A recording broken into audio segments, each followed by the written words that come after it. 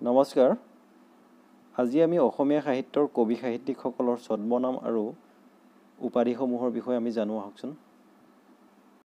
বাণীকান্ত কাকতিৰ ছদ্মনাম হৈছে ভৱানন্দ পাঠক ডক্টৰ বিৰিঞ্চি কুমাৰ বৰুৱা বীণা বৰুৱা আৰু ৰাচনা বৰুৱা নৱকান্ত বৰুৱা এখুত ককাইদেউ সীমা দত্ত আৰু ন আইতা লক্ষ্মীনাথ বেজবৰুৱা কৃপাবৰ বৰুৱা কৃপাবৰ বেজবৰুৱা।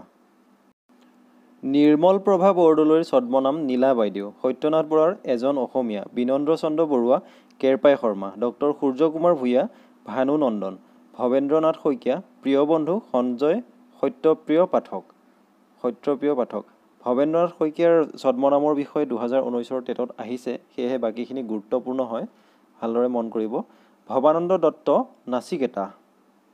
এতিয়া আমি উপাধিসমূহৰ বিষয়ে জানিম। শংকৰদেৱক আমি জগতগুৰু মহাপুৰুষ বুলি জানো।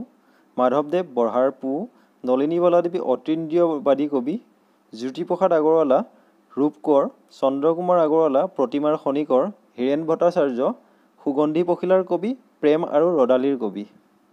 নিৰ্মল প্ৰভা বৰদলৈ সৰস্বতী হেম বৰুৱা অসম গৌৰৱ ফণী শৰ্মা নটসূৰ্য যতীন্দ্ৰ নাথ দুৱৰা বকুল ফুলৰ কবি কমলাকান্ত ভট্টাচাৰ্য অগ্নিকবি আনন্দ চন্দ্ৰ বৰুৱা বকুল বনৰ কবি আনন্দ চন্দ্ৰ আগৰৱালা ভাঙনি কোঁৱৰ।